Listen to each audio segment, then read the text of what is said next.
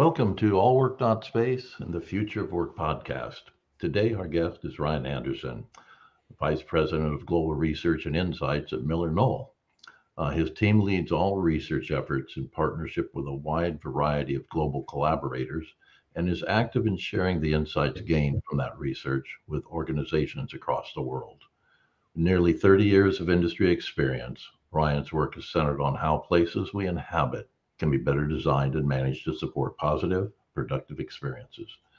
Ryan hosts Herman Miller's Looking Forward podcast on the future of work, regularly speaks at public events about MillerKnoll's historic and current research, and has been featured in a wide variety of publications such as the Wall Street Journal, NPR, the BBC, Fortune, and Bloomberg. Ryan, welcome to the Future Work Podcast. Great to have you on board. Thank you, Frank. It's a pleasure to join you. well, I know you and I had a, uh, the opportunity to chat uh, about a week or two ago, I guess it was, about some of the things that you guys are up to, and I was fascinated by a lot of it, the scope and the bandwidth that that you cover. Um, one of the things that's most topical in the news right now, in fact, I just read an article yesterday about New York City mayor and the governor of New York, uh, both newly elected, um, talking about redesigning the entire city of Manhattan around um, a population realm, they're calling it, um, a public realm, um, and literally wiping out large swaths of office buildings, which are now reported to be as high as 50% vacant in, in the city replacing those buildings with residential and adding tremendous uh, parks, uh, et cetera, and turning New York into more of a walking city than a driving city. Um, that's massive. I'm assuming they made all those decisions based on your research. um, what's uh, what's your thought on on the return to office versus the re, re redeveloping, re-engineering of cities so that people maybe don't return to office, but cities become 24 7 instead of uh, 6 to 6 yeah it's a great question well a few things come to my mind we have been studying kind of the state of return to office and changes in how organizations work across the world for a while and personally i've spent i think I, I, think I've been in 14 different cities in the US and Europe in the last um, maybe two, two and a half months. It's highly varied. The state of return to office is, is more varied than I think what you might might typically read. I think a lot of what's being written about uh, is focused on New York and London, maybe San Francisco, because that's where a lot of the reporters are. And I will say those large cities, uh, and here in the US, San Francisco and New York in particular, seem to be facing really unique challenges. I don't know that you'd find the exact same set of conditions in, in Austin or in Kansas City or in Chicago, but um, commute clearly plays a factor there's some other factors that I think are really impacting return to office rates on a, in a given city. But as it pertains to kind of the health and vibrancy of cities, the, the move towards more, more walkable cities, 15 minute cities, et cetera, started well before the pandemic. And we know that any any um, city that really wants to, to thrive has to balance out its emphasis on working locations with living locations, uh, entertainment, all the the richness of what a city can bring culturally and having that be in balance is something that a lot of cities are trying to work towards. So if as an example new york starts to convert a lot of buildings into residences i don't know that that's bad actually for offices long term. It means that people who want to live in the city will more affordably be able to move into the city and have a much more close proximate relationship to their office but also the bars, restaurants, theaters, and all the other things that we might love to enjoy in, in New York. So they're trying to achieve an equilibrium that other cities may have have uh, found uh, in different ways. Well, I, I I think that's that's possibly right. We've we've said for quite a while that the and this again is pre-pandemic that the cities that are commuter dependent, if you will, um, especially when that commute is 45 minutes or longer on average, um, that those cities will have to be redeveloped entirely uh, as we look forward. And and it's not just uh, the pandemic issue that that was really just uh, still is in some cases. That that, that was that was just a little benchmark along the path. Um, but the path had already been well well defined, and I think the path is is defined by technologies that we're using today uh, to accomplish work, um, and and how we choose people that we want to work with our organizations.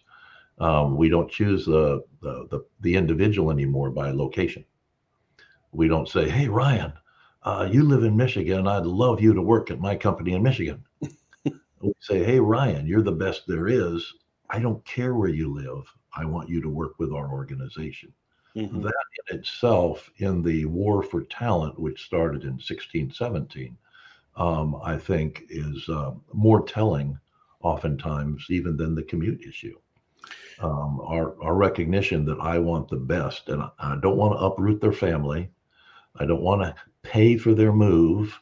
Uh, I'd rather give them the give the money to them than to Beacons. Uh, um, so all of those things were already changing.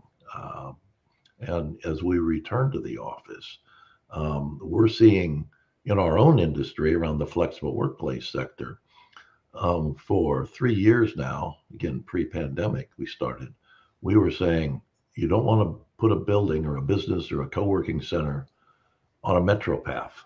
You want to put it on a bike path.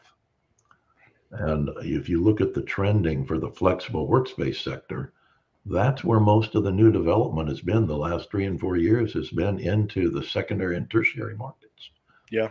Yep. Um, we've seen that too particularly with co-working being more suburban uh, or rural even.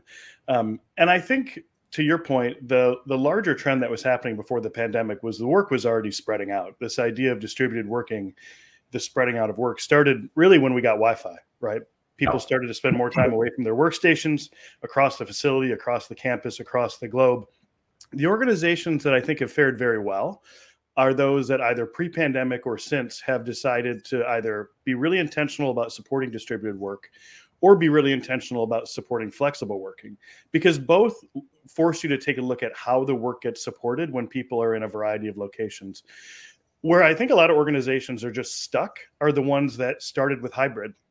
You know there's nothing wrong with with hybrid. It's it's a it's a, a good uh, end state to work towards, but it really refers to a state of balance in terms of working locations. It's not a starting point.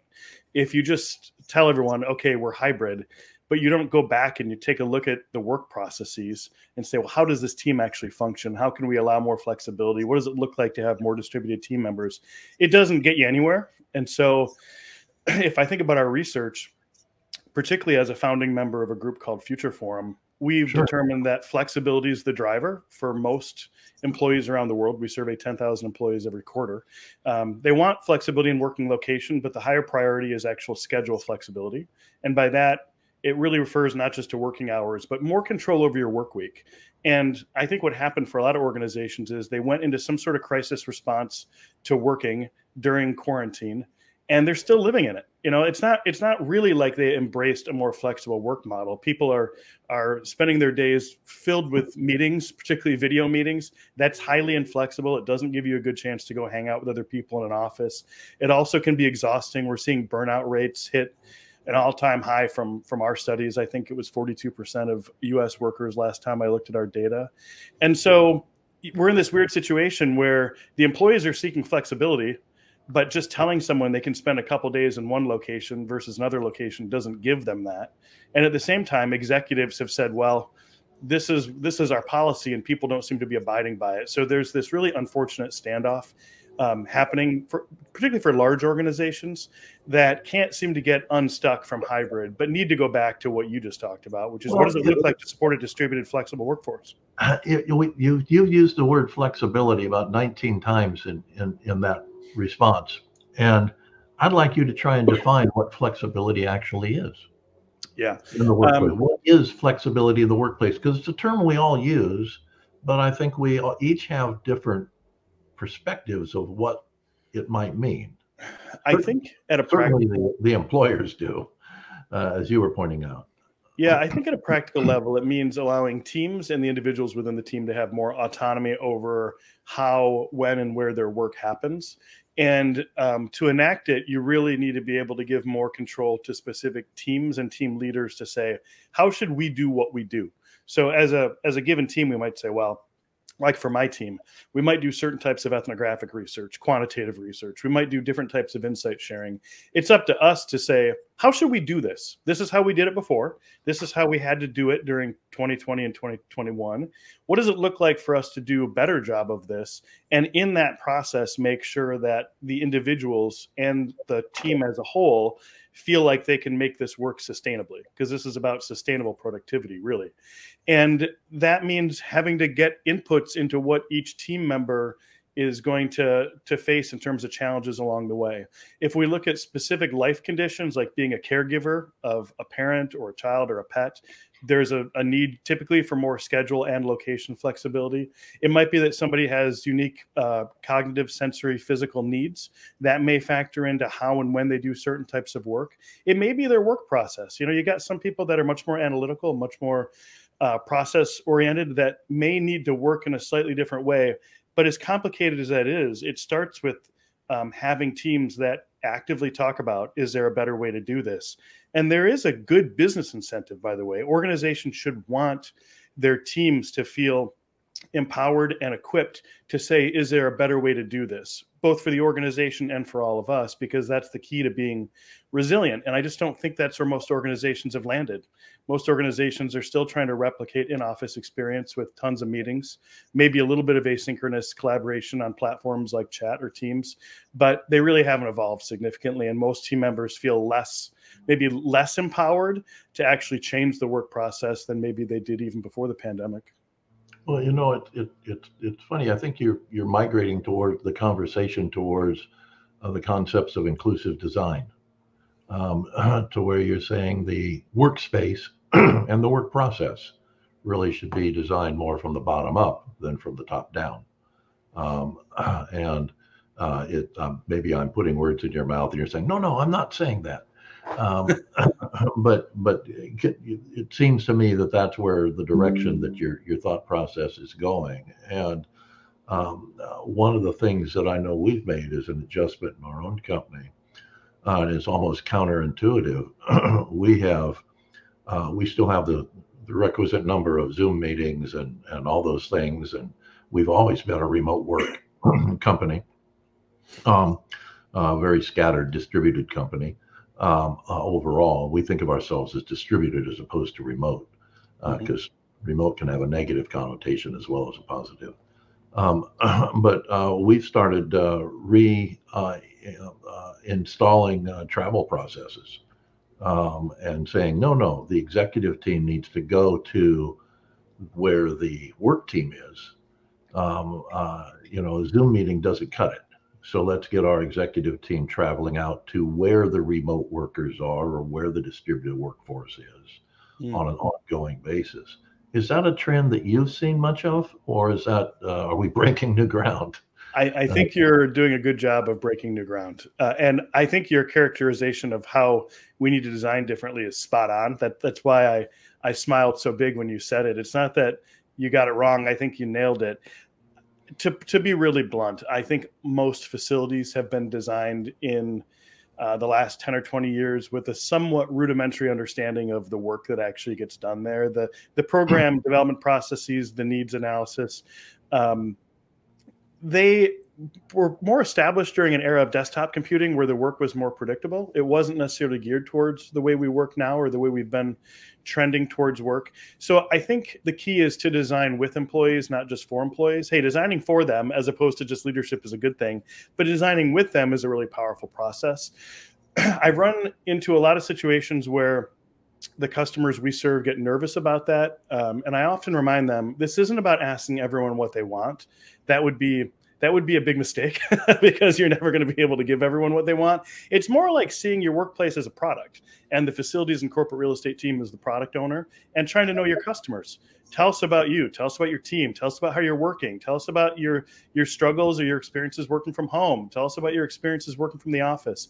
You know, if you get a group talking about how they'd like to work, most of them are not going to say, "Oh, we." I, the ideal situation is for all of us to work out of our spare bedrooms for the next five years exclusively. There's various experiences people want to have in a co-located way. There's resources, tools that you can provide in a space that I think are super beneficial to, to teams and individuals. And the more you get to know the people, the more you understand the broad range of their needs and conditions. And you can begin to solve for those team level, community level, even individual level needs once you understand those patterns. But it's very difficult for me to imagine organizations being really successful in designing spaces that really work for people without engaging them more. And i think we're at a point now where we have to conclude that if the if the spaces don't work for the people then they don't work. Well you know it, it it's funny when you talk about the people and i'm listening to you, you, you again i'm picking up on words and you've used organization many, many times in this last part of our conversation. And that implies to me that you're talking about large organizations. Um, but the great majority of employer employee relationships are in one to 25 person companies.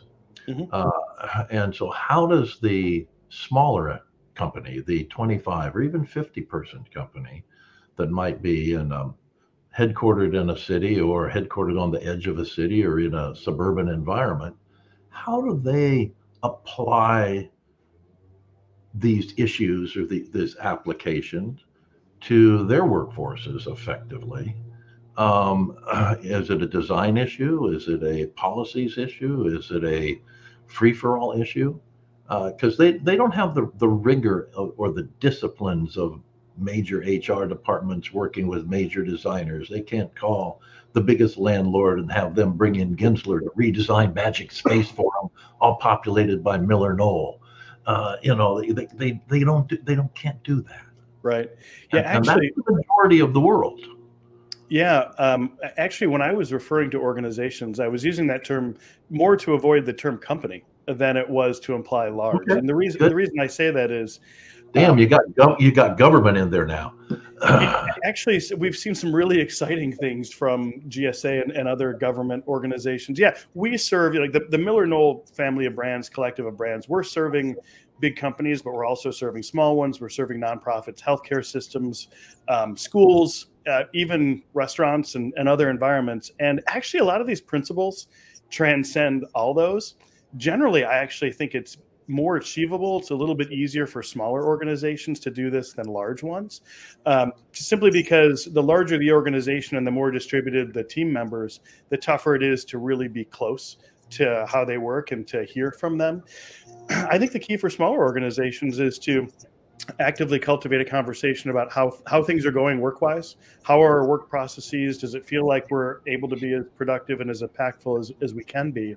And if not what can be improved? The spatial implications will come out of it. Um, and uh, I think it's actually a bigger challenge for the large organizations where many of the leaders aren't very close to some of the work being done, or where maybe some of the cultural factors uh, geographically um, are a little bit less familiar to an, a big organization. And if you look at, I think, the return to office rates and some of the articles that are being written about them, this has generally been a large company in large cities challenge more than it's been uh, a challenge for smaller organizations. Yeah, I can I can see uh, where the challenges are in that regard, and and yet uh, I'm still not clear on what the small organization can do um, uh, because they don't have the resources necessarily to redesign or to restructure in the same way. Uh, so it, I, I, see that as a greater challenge for for them uh, than uh, for the the larger organization. Well, certainly an organization that has some some uh, money to invest in good um, consultants or help to, to to get through this process might have an advantage. But I don't think most organizations actually are holistically transforming their spaces uh, to try to uh, achieve this. Most are incrementally improving the existing real estate portfolios they've got. Maybe they're embracing some flex space solutions as well. Maybe they're investing in some home office solutions.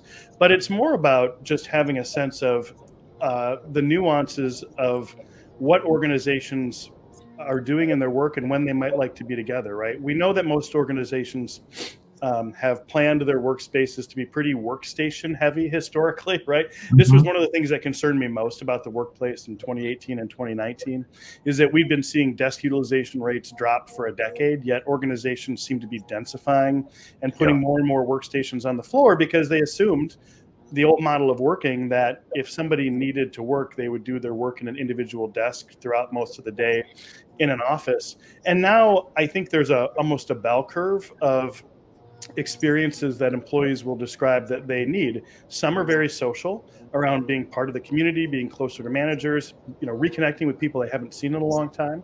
And the other is around doing more focused, concentrative work. Our research continues to indicate that a lot of people struggle with focused productivity at home simply because distractions occur. And so, if the workspace can be enhanced a little bit, uh, and some of this is not even spatial. You can do it through protocols, like maybe designate a group of workstations as the the quiet zone or the study hall. Um, then you're just giving people like a greater range of experiences within the office to suit what might be deficient at home. And so I don't know that it's super resource intensive as much as it is about being in much closer conversation. Well, you mentioned quiet zone. and I know some recent neuro research um, um, uh, has focused on uh, the concept of quiet mm-hmm. uh, and the importance of creating quiet places uh, to have productive work inside of an office environment. Uh, I, I, know we're just redesigning one of our own facilities um, uh, that hosts about 60 or 70 people, I guess, and um, that's we're trying to spread things out, move things around, and create uh, less sound intrusion uh, for for everybody there, specifically for that purpose. Uh, so I, I think that is an, an important issue. But how do you you you think of the office as a place to work? How do you relate it to and within the concept of community, though? I, I think that is uh, you're pinpointing a really crucial question because I don't know that most leaders think about this this way, but what makes their company a company or their organization an organization is not just having a group of individuals that are individually productive, but having them have some sort of shared sense of purpose, sense of belonging, sense of uh, achievement as a team. And so organizations are productive communities and it's what differentiates them from just being a bunch of freelancers working in a gig economy. I mean, you can put together 100 freelancers to go do a project, but what really makes organizations work is whether or not they can function as a community. And most are really struggling. So, in our work, we work with a variety of social science uh, scientists to understand the dynamics of work. There's a, a common framework in the world of sociology, all the way back from the early 70s at Stanford, known as strong ties and weak ties. Mm-hmm. And the idea is that your network consists of people that you're really close to. This isn't just your work network, by the way. This is like your whole life's network. Those are your strong ties. Those are the people you rely on day to day. It's your family, friends, your closest coworkers. And then you've got all these other people in your lives that that are your weak ties or extended relationships. It could be people you knew well but haven't seen for a while. It could be a barista who just remembers, "Hey Frank, when you when you walk in the door." And weak ties are a really critical part of functioning communities. It's what gives people that sense of belonging, a sense of safety.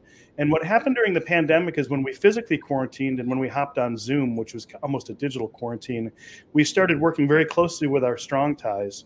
But hundreds, or certainly dozens, but in many cases, hundreds of people in our work lives that were part of our extended community just kind of fell off the radar. You know, you stopped seeing them, didn't have any reason to schedule a meeting with them.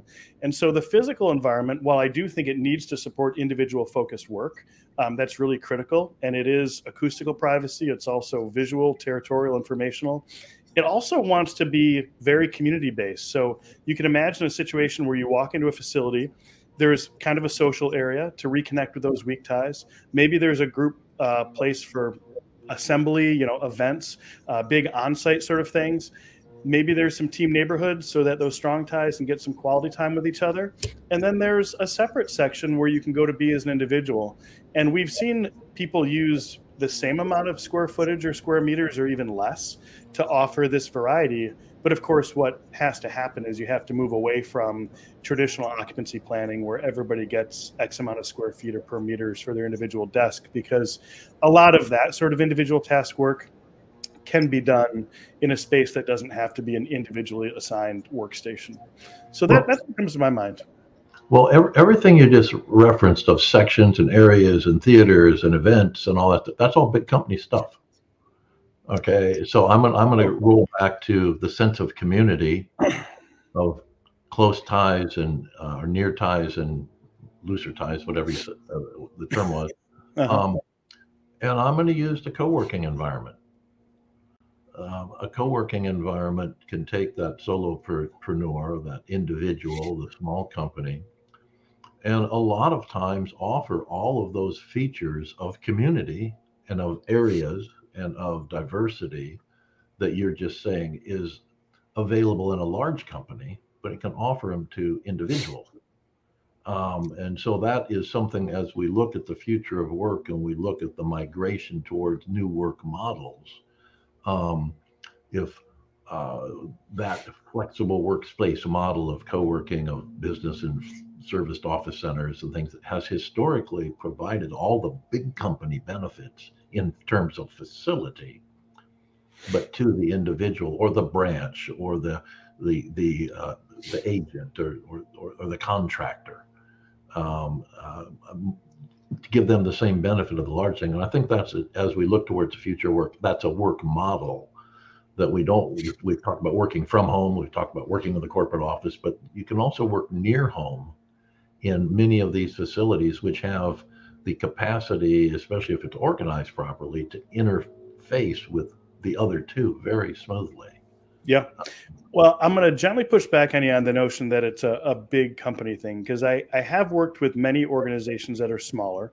That let's just say it's a 50 person organization where they support work from home. Maybe they're even going so far as to providing a chair or a webcam for people to work from home. And then their physical office footprint isn't rows of desks. It's something that feels more like a, a nice airport lounge where there's a social zone. There's also a quiet heads down zone it doesn't have to be huge, but instead of it being a traditional office, it's referred to as a, a hub or a mm-hmm. studio.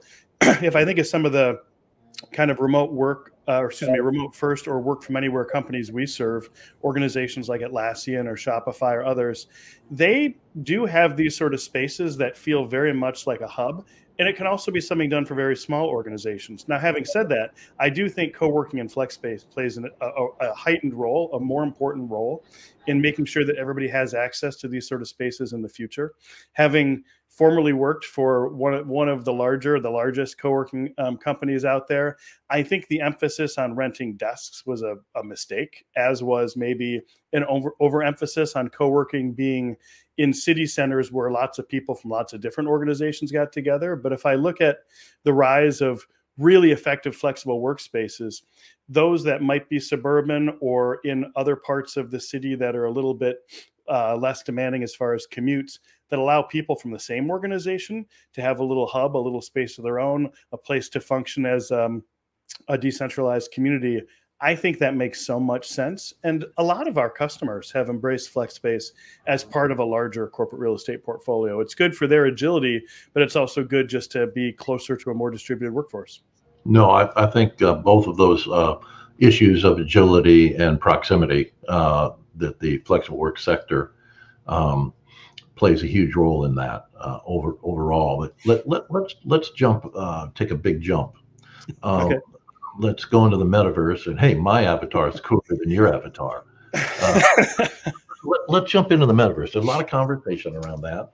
And we actually refer to it not the metaverse because that's the meta of everything. We think yeah. of the meta of work, uh, of the workplace, uh, if if you will, uh, from a technology point of view.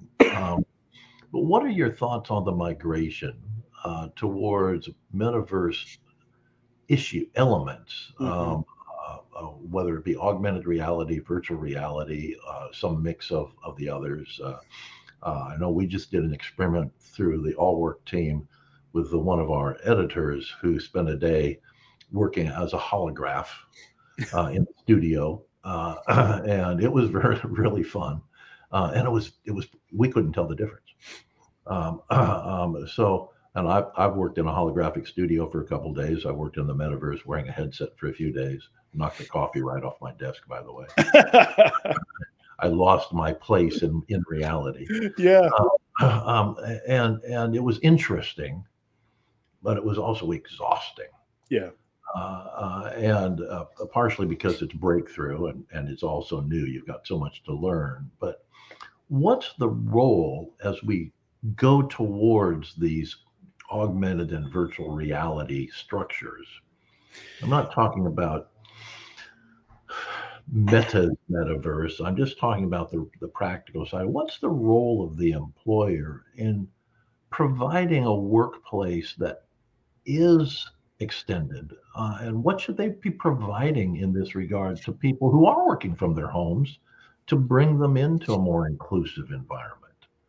Oh, um, yeah, that, that might be a separate question.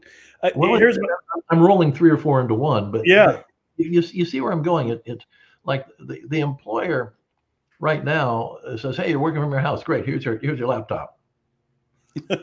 Yeah, know, bring them back to the office with you, will you?" Um, that, that's what most people are doing. Um, and then they, you know, you spare bedroom, kitchen table, whatever works. Um, I think the employer, if they're going to have people work from their residence more than a certain amount of time, more than one day a week, that there's an obligation on the part of the employer to to in to define that there is a suitable workplace. If not, they should have them work near home at a co-working or a business center as opposed to from home where a suitable workplace can be created. But how do we blend all this with the new technologies coming along? I, I, yeah, that's an open-ended issue and, and maybe the last one we can address, but but I think it's important to to to look at that as, we consider the future of work. I do too. And I'll give you just a little qualifier. I, I, spent about 10 years of my career specifically looking at the intersection of technology and workplace, including when I was specifically with our Herman Miller brand um, as director of future technology. Um, that was my job. Uh, I was also VP well, of that's why I, while. So, so let, let me qualify it by saying um, a couple things. First is the the IT world knows what the hype cycle is. This is Gartner's uh, publishing every year of what technologies are most hyped, and that it's a cycle that includes a a high point called the peak of inflated expectations that's followed by a phase called the trough of disillusionment.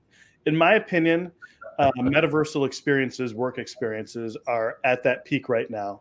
And the, the metaverse as a term this is a little bit like what happened with cloud is rapidly expanding and beginning to gobble up things that we wouldn't have called the metaverse before so we did cover this on MillerKnoll's um, looking forward podcast but i'll give you kind of my quick two cents the first is that the bigger more interesting topic here is web 3.0 which are the set of various technological advancements enabling metaversal experiences with the metaverse.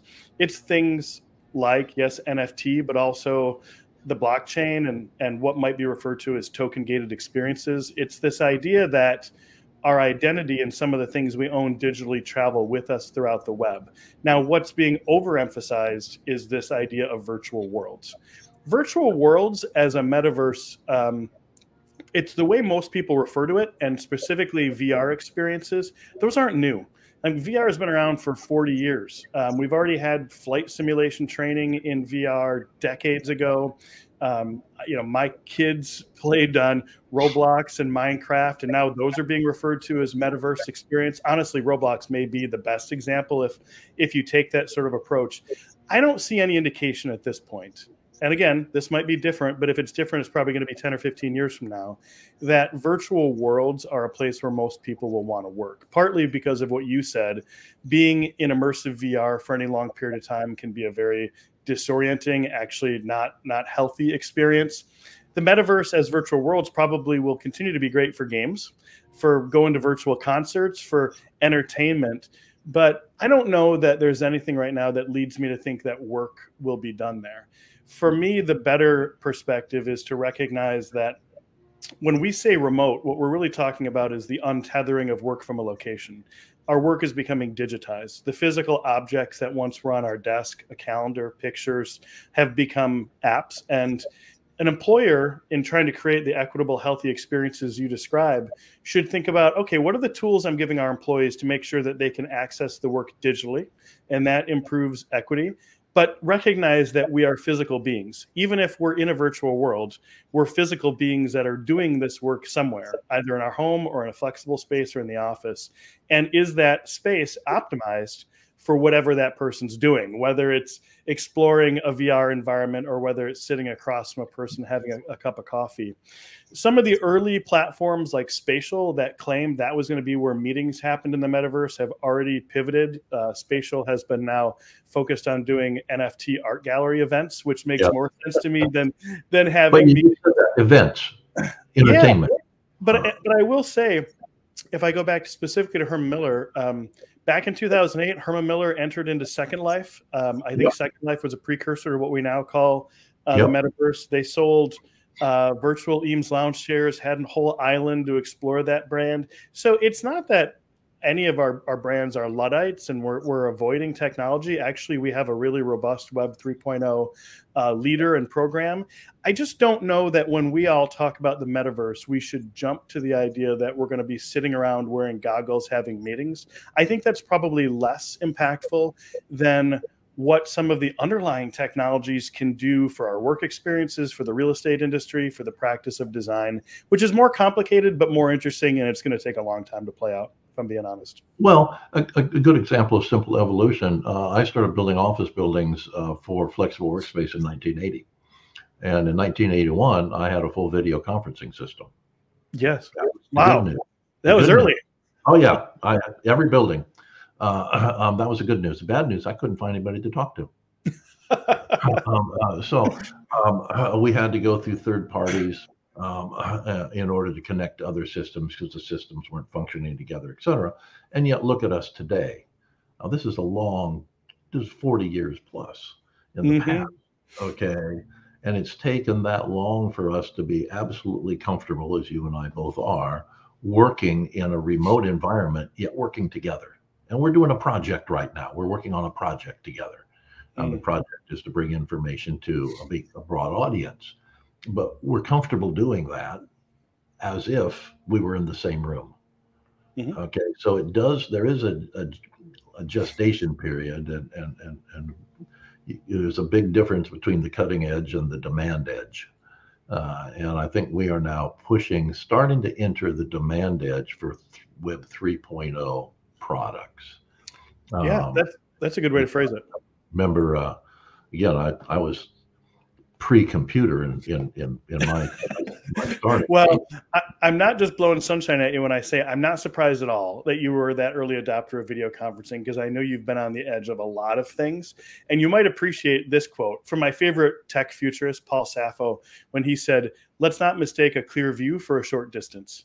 So yeah. I think we're into that that range.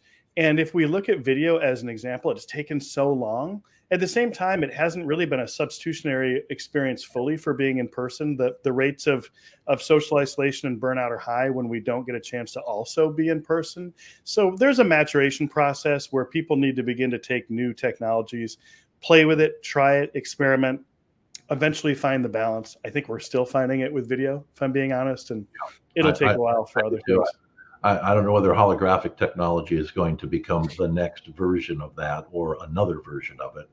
I know I had a holographic receptionist in a box, looked like a Disneyland uh, uh, event uh, in a box in 1984. Uh, um, wow! And my my clients hated it. They hated it. Uh, so you know that lasted about six months. Um, uh, but you try these things and you try to yes. figure out what'll work, and you do have to push the edge. And I, will I'll leave it with I think what you guys are doing at MillerKnoll. I, I know you're a huge contributor to our industry uh, in thought processes overall and to future work in general. And uh, I really appreciate the comments you've been able to share with us uh, and uh, hope to bring it up again sometime, Ryan. I would love that. I've been a fan and a follower of what you do for a long time, so it's, it's been a, a privilege to be able to spend time with you and and those listening. So I appreciate it, Frank. We'll look forward to it. Take care. Bye bye.